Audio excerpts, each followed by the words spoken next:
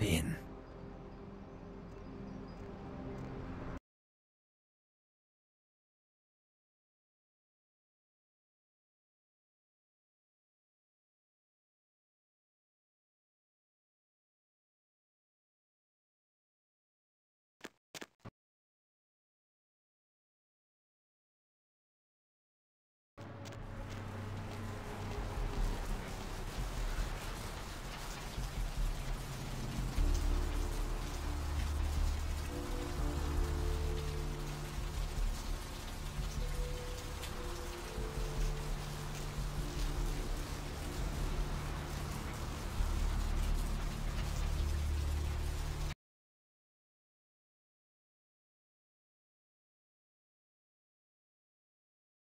The moon is out, everyone's in dreamland, and you've tuned into Deb of Night. Nobody to fall asleep next to? Go ahead and pull the radio into bed. That's what I'm here for. And hey, why don't you call me sometime? Area code 323 KL5 KTRK.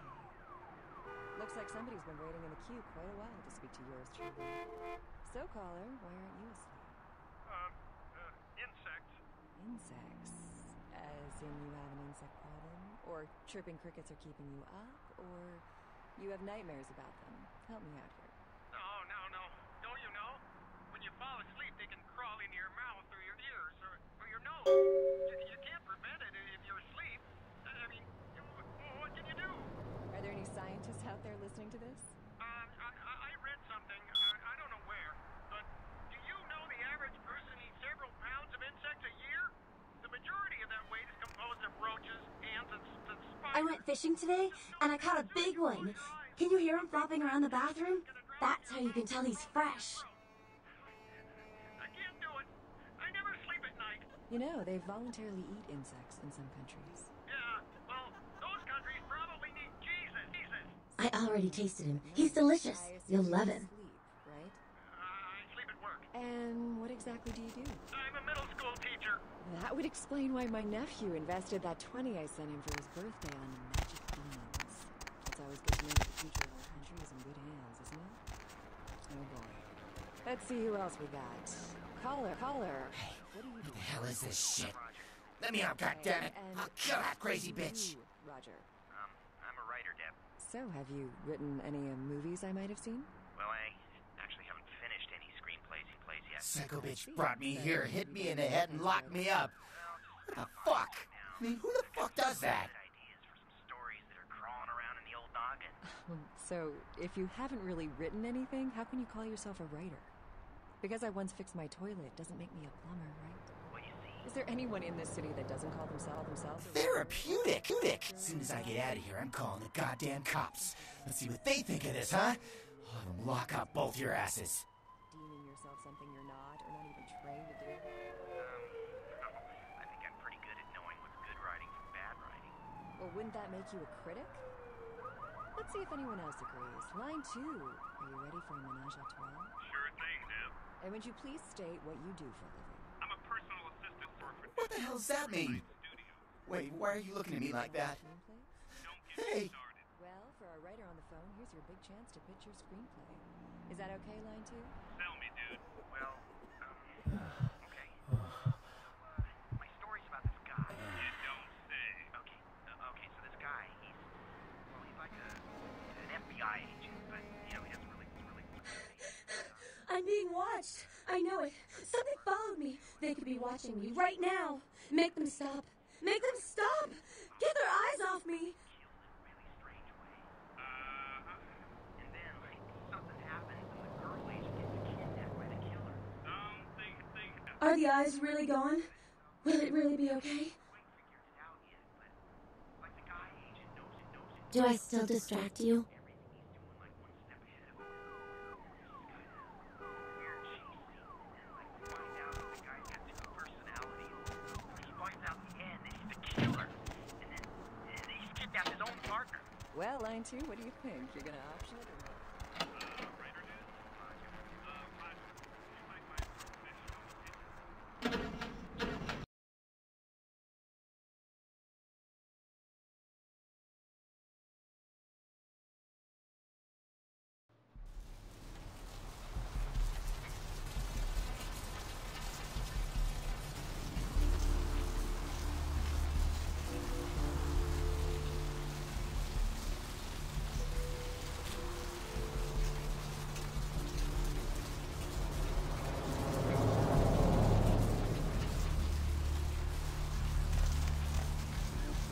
Going somewhere?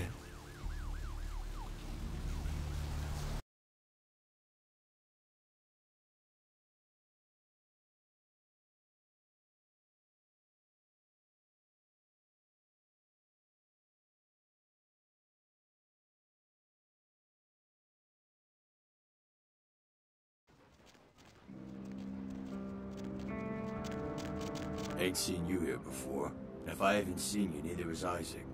So that's your next stop. Isaac's in the jewelry store at the end of the street. Consider yourself invited.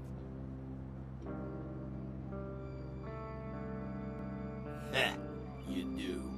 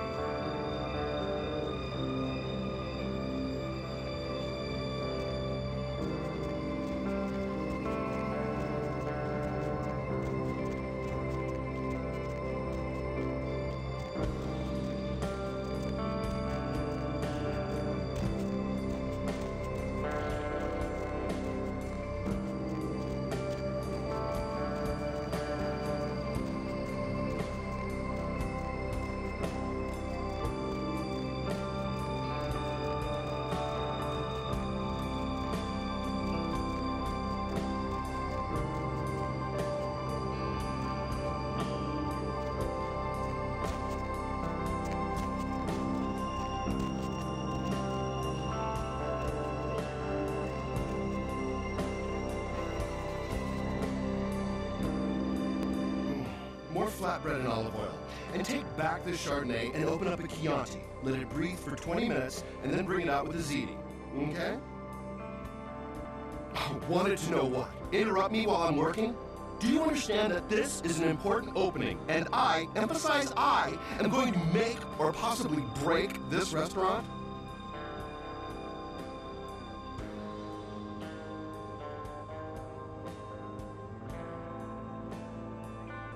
Me, Tommy Flayton, the Food Authority of Los Angeles, food critic for the biggest paper on the West Coast, radio personality for the KTLK, Chower Hour. Maybe if I reviewed more pancake huts, you'd know me.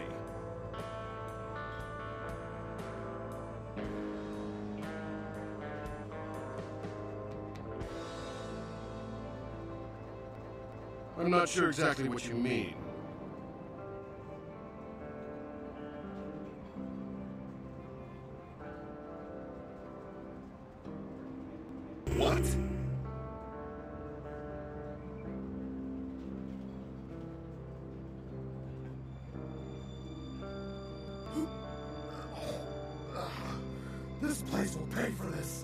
As sure as my name is Tommy Flayton, they'll never serve food in this town again.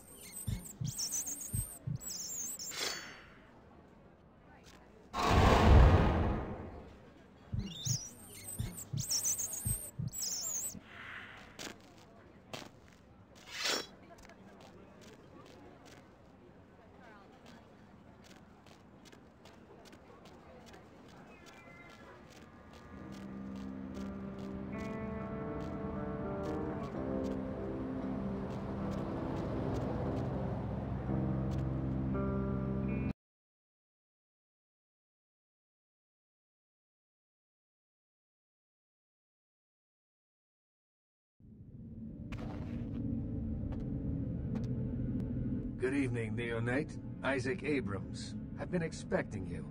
Seems the wooden soldiers of the Camarilla shuffling a little too often these nights. That baby-faced two-bit Prince LaCroix got something to say to me?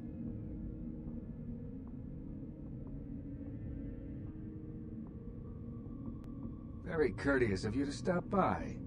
All kindred that enter my domain are expected to introduce themselves. It may seem like an outdated formality, but it serves its purpose.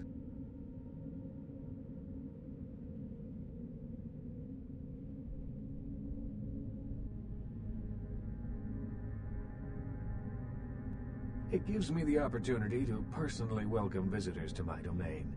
It also helps to establish an understanding in advance, so that there are no unfortunate accidents while they are in town.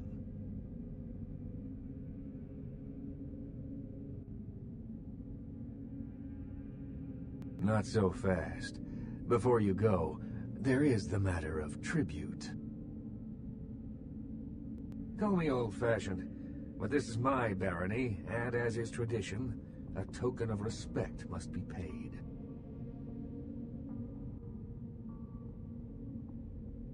What I want is a simple exchange. Last week I paid for a certain item, a movie, and this evening I got an email saying that the seller is ready to deliver it. Unfortunately, he's become a bit paranoid all of a sudden.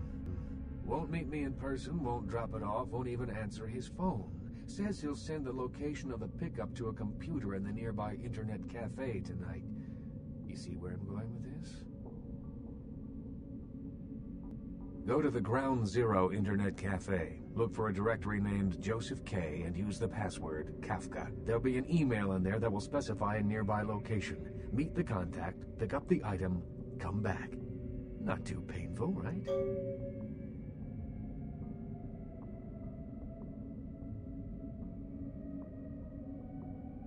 Live long enough, you'll be asking some whelp to do the same thing. And as I mentioned, this is simply a matter of tribute.